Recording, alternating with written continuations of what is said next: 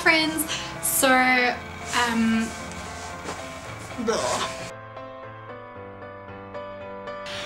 Hello everybody, um, welcome to my channel, welcome to my video. Um, I filmed my entire video this morning on um, my phone. I thought I'd give it a try on my phone instead of on the camera.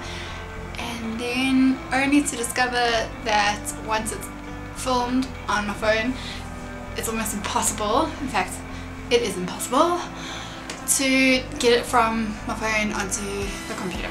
So tragedy has struck. And unfortunately the only footage I was able to salvage for you is the last 17 seconds of the video.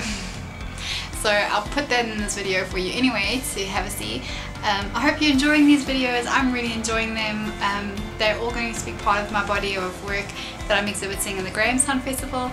So if you're going to be around there in July, then please pop by and see them in real life because the footage that, uh, or the camera that I'm using to film it doesn't actually show as much detail as they are in the pictures.